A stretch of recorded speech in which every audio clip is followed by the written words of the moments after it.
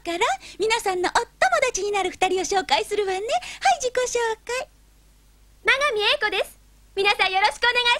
します。ポリポリ。シー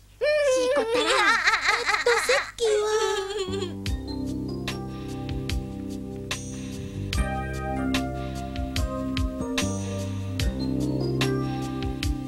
あ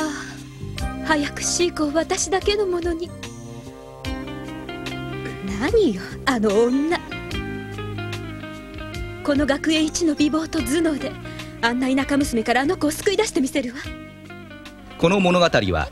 郊外に位置するグラビトン学園に2人の少女が転校してきたところから始まります。謎の力を秘めた A 子無邪気な C 子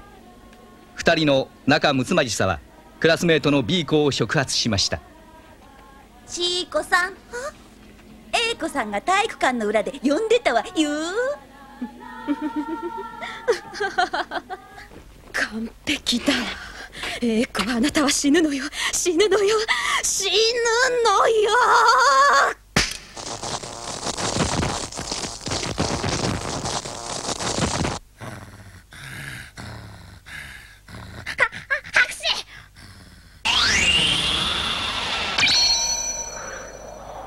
シーコを略奪する戦いは始まりました次々と繰り出されるメカニックの嵐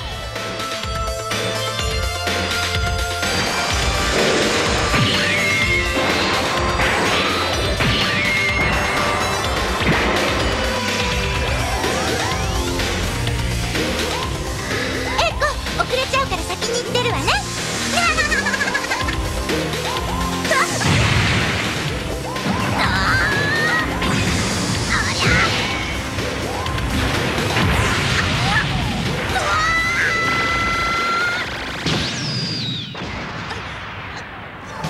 作品に関する説明などを、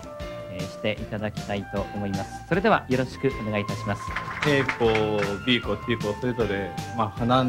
に例えますとですね、まあ、A 子は、まあ、真っ赤な髪の毛と同じようにハイビスカスみたいに、まあ、もう一目見ただけでパッと周りを明るくしてくれると。で B 子っていうのは、まあ、富士の花っていう雰囲気で、まあ、やっぱり一目見たキャラクターとしてはまず、まあ、しっとりして落ち着いたキャラと。で C 子っていうのはもうちょっともうどっか壊れてんじゃないかというくらいのもう一年ひまわりというそういう感じでまあキャラクターを取ってもらえればいいと思います。というか劇場に足を運んでまああとはぜひ見てほしいともうそれだけなので、えー、どうぞよろしくお願いいたします。